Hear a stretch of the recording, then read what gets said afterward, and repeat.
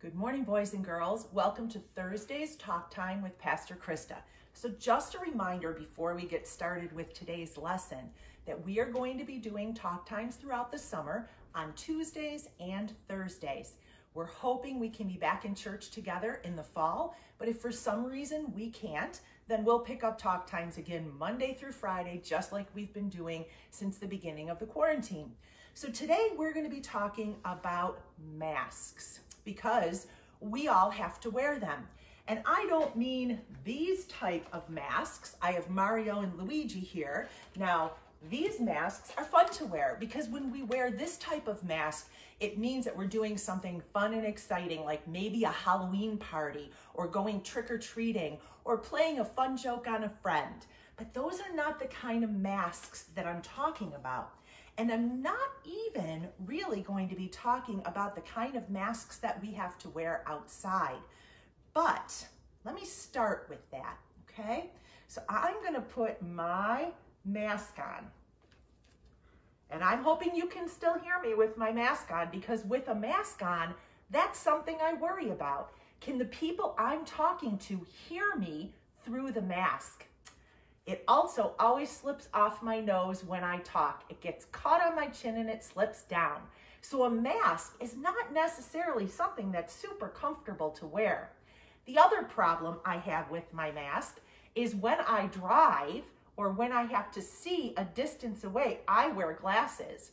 If I put my glasses on to see and I breathe, guess what happens?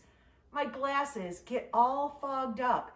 And because I have this mask on, I can't really see clearly. So let's talk a minute about what your mask does when you look at someone else when I'm grocery shopping early on Friday mornings and I see a friend and I wave to the friend, all that friend can see is my eyes. They can't see my face.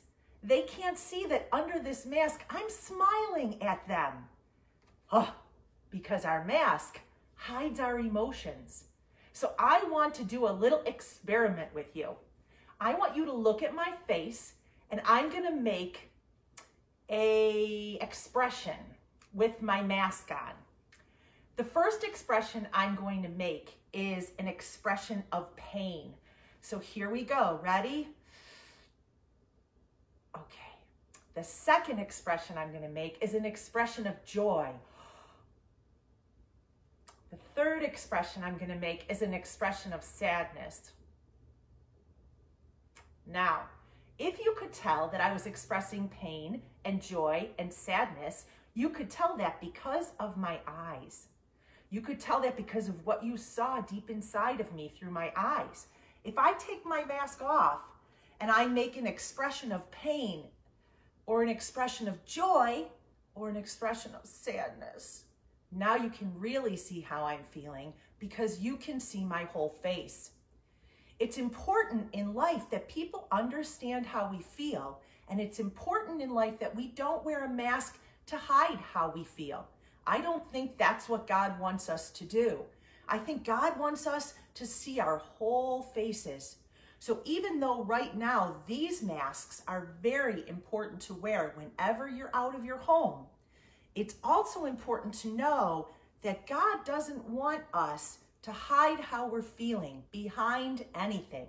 So a mask doesn't necessarily have to be one of these, and a mask doesn't have to necessarily be one of these. I could be wearing a mask right now and you couldn't tell. How could that be, you might say?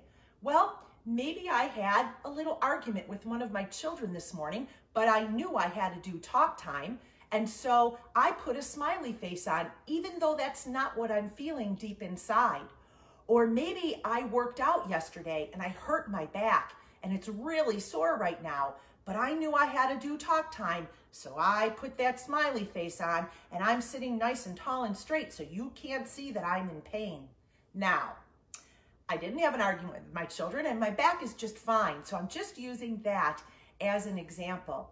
But Jesus wants us to be right in front of him and he wants us to show what is on our face. So I'm going to tell you a little story about a woman. Jesus was on his way to heal someone and he was with his friend and he was walking with his friend on his way to heal somebody. And as Jesus was walking, there was a woman behind him who wanted in the worst way to ask Jesus to help her, to heal her, because she had been sick for many years. And what she did is behind Jesus, without showing Jesus her face, she reached out and touched his cloak, which is the clothing he had on. And when she did that, she was healed right away. Now, Jesus turned around and he looked at the woman and he said, Who just touched my clothing? And the woman said, It was I, sir. And Jesus had a really good exchange, a really good conversation with this woman because now Jesus was looking at the woman and the woman was looking at Jesus' face, not the back of Jesus. She had faith in Jesus. She wouldn't have thought if she could just touch his clothes that she could be healed if she didn't have faith. But when Jesus looked at the woman and the woman looked at Jesus, that's when it really happened. That's when that woman really knew that Jesus was who he said he was. So if we really, really want to trust in Jesus, it's important that we don't sneak up behind Jesus, that we don't wear a mask to cover things up, that we look right at Jesus. So our scripture today is going to be taken from, I believe it's the book of Matthew. Let's see. Yes, it's Matthew 23, 23 to 26. And it talks about the Pharisees. Now remember, the Pharisees were the leaders in Israel, Jerusalem at the time. So this is what it says. Woe upon you, Pharisees and other religious leaders, hypocrites. I'll explain that in a minute. For you tithe down to the last mint leaf of your garden, but ignore the important things justice and mercy and faith. Woe to you, Pharisees, hypocrites! You are careful to polish the outside of the cups, but the inside is foul with extortion and greed. First, cleanse the inside of the cup, and then the whole cup will be clean. So let's talk about that for a second. So, let me move my glasses. The Pharisees were religious leaders at the time, and the scripture writer is calling them hypocrites. A hypocrite is somebody who says something but does something else. And he said, You can do all the right things on the outside, but in your heart, if you're wearing a mask, right? And in your heart, if you don't really love the important things like justice and mercy and faith, then you're a hypocrite. Then you're wearing this mask. And he says, You can take your favorite cups but if you don't clean them out, and I chose these because they're stained inside because we use them every day for coffee and tea. They're clean, but they're stained inside. And he said, you can look at the outside and say, wow, those are awesome cups. But if you don't make sure that they're clean inside, then they're really not good for a whole lot. You need the whole thing to be clean in order for it to be good for a whole lot. And there is a lot going on in our world right now where people have been acting like the Pharisees. People have been wearing masks. And if you watch TV and you look at what's happening, guys, the masks are coming off. And that's a good thing. We need to make sure, like my t-shirt says, that we love one another. And the best way to love one another is to only wear this mask when you're outside and you need to be safe. But the mask that you might wear that doesn't let people know that you're in pain or you're full of joy or you're very sad, that mask really has to come off. Because if we're really going to love each other the way Jesus wants us to love each other, none of those masks are necessary. So let's sing our song today. We're going to sing Be Careful Little Eyes What You See. I think it's a really good song for our lesson today. So here we go. Be careful little eyes what you see. Be careful little eyes what you see. The Father up above is looking down in love, so be careful, little eyes, what you see.